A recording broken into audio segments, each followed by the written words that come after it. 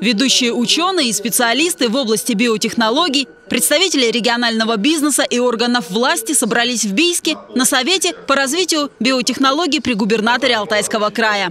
Как отметил председатель Совета и заместитель председателя правительства Алтайского края Александр Лукьянов, главная задача – объединить усилия всех участников для единой цели. Те вопросы, поведомленные с наукой, создаешь что-то и, и проходят годы по созданию внедрению производства, чтобы довести до потребителя. А когда одновременно работают, а являются все участники члены совета, числе наука и производства. И здесь вопросы, когда разрабатывает, и тот же индустриальный партнер, который частично вкладывает свои средства, и на своем предприятии уже опробирует, отрабатывает все эти моменты, и ускоряется процесс, о котором сказал, в десятки раз. Площадка для заседания была выбрана фармацевтическая компания «Эвалар» и не случайно. Здесь давно и успешно внедряют инновационные разработки в области производства лекарственных препаратов и БАДов. В чем участники заседания смогли убедиться лично. Для них была организована обзорная экскурсия по производству полного цикла.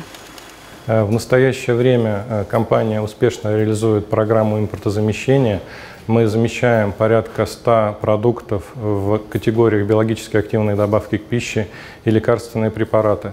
Кроме того, э, на данный момент в портфеле компании уже есть 24 лекарственных препарата, аналога импортных, которые более доступны для потребителей, но при этом ни в коем случае э, не уступают по качеству, а также по профилю безопасности и эффективности.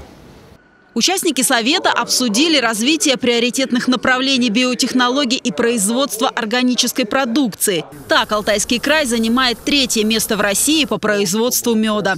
И сфера пчеловодства готова развиваться дальше. Представители вузов региона рассказали о своей научной работе и потенциале.